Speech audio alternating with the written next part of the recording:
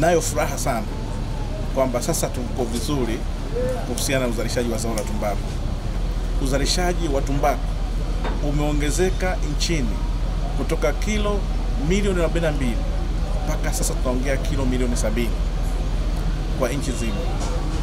Uzalishaji wa tumbaku Songea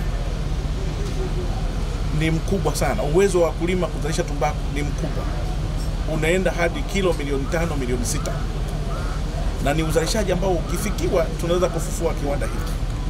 Ni lengo la serikali ya awamu ya sita chini ya Mheshimiwa Mama Samia Suluhu Hassan, rais wetu wa Jamhuri ya Muungano wa Tanzania, kwamba anaona kwamba uzalishaji wa zao la tumbaku Songea unaongezeka, na ndio maana fursa mbalimbali zimeanza kufunguka ili kuhakikisha kwamba Songea hii uzalishaji unaongezeka. Lengo letu ni kuona kwamba tumbaku ya, ya moshi ambayo inalimwa Songea inaongezeka hadi kufikia kilo milioni tano, lakini tunataka kuona kwamba tumbaku ya mvuke ambayo ilishasimama kulimwa Songea kuanzia mwakani inaanza kulimwa Songea.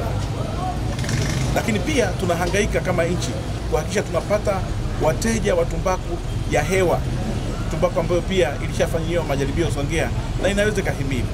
Lengo la kufanya hivi ni kuhakikisha kwamba tunapata eh, raw material, tunapata malighafi ya kufufuka kiwanda cha Sontop ambapo kipo Songea. Kiwanda hiki kikifunguka itakuwa ni mwanzo wa ajira kwa wananchi wa mkoa wa Ruvuma. Kiwanda hiki kinaajiri si chini ya watu elfu tatu kwa msimu.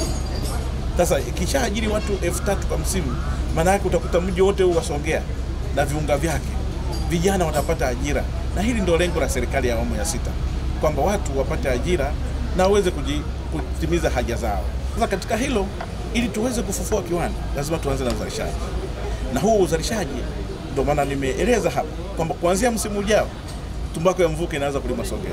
Kuko kupata habari mpya, subscribe chaneli yetu ya Ruvuma TV. Pia usisahau kubonyeza kengele iliyoko kulia, lakini pia usisahau kututembelea www.ruvumatv.co.tz.